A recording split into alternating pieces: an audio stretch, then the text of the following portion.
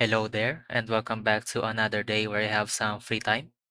And in this day's video of Unstandard C, we'll be now implementing, just a few of the syscalls for now as C functions. So let us get started. First, by making the header for Unix standard. And well, um, we can have the usual header guard over here.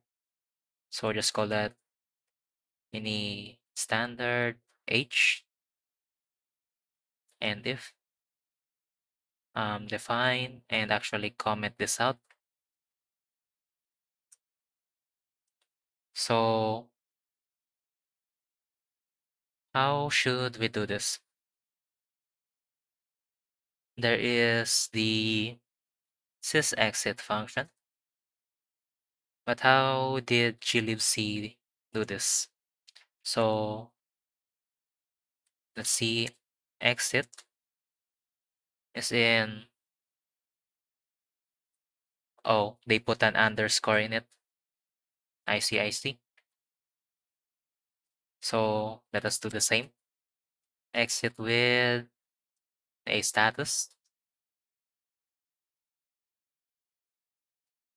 So exit, then I want write that will return a long value.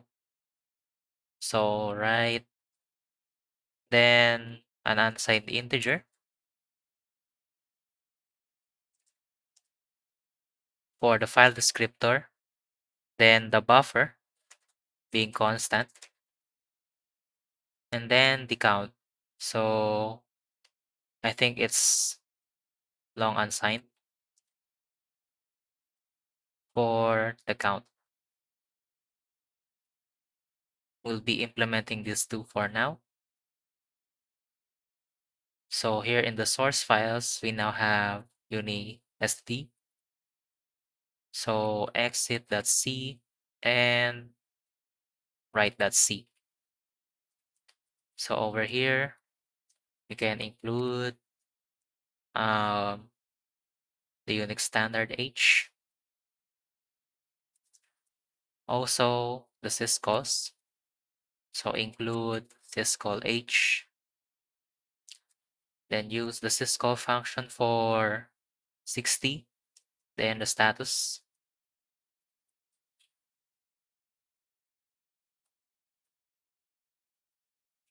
So why is it still doing that? Maybe I've missed something else for the compiler. But well, we'll use GCC's um, built-in unreachable to tell the compiler that this function does not return. So there's exit. Then I need write over here. So paste this two. Then in write, um, you can just technically return the syscall two, one, and the standard output. Well, no, it's the file descriptor, then the buffer, then the count. Also, we have the standard library function exit. So if not defined, um, stdlib h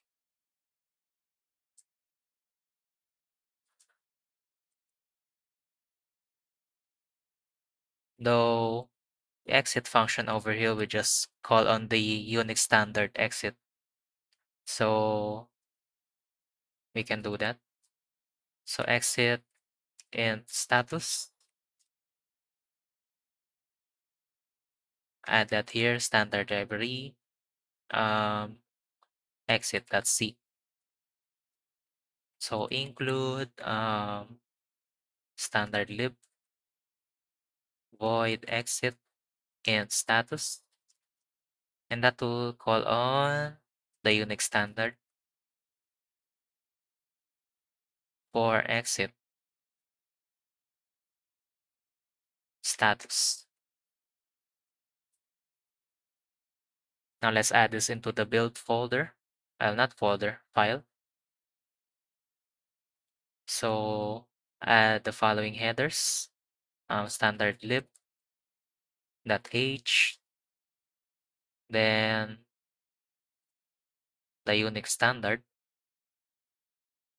uni std then for the sources we'll be adding a bit more or we can use a glob function over here. So let's try building this.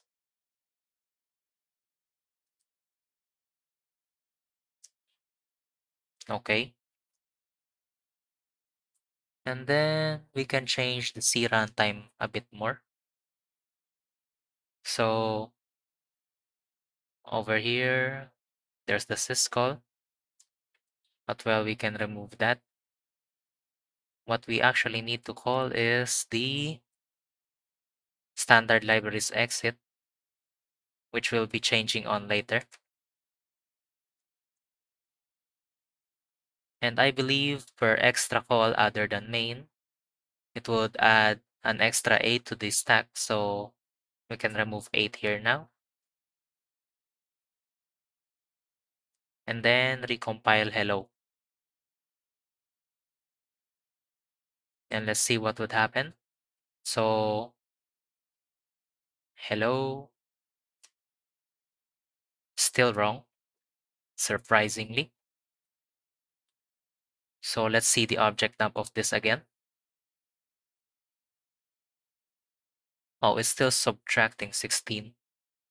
So gotta add 8 back.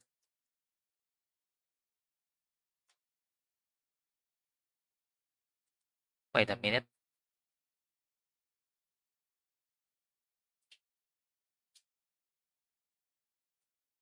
So after this, it's not doing it. Surprisingly. So let's try it now.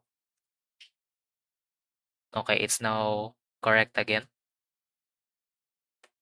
Now here back at test, we can include the Unix standard where we can use the write function.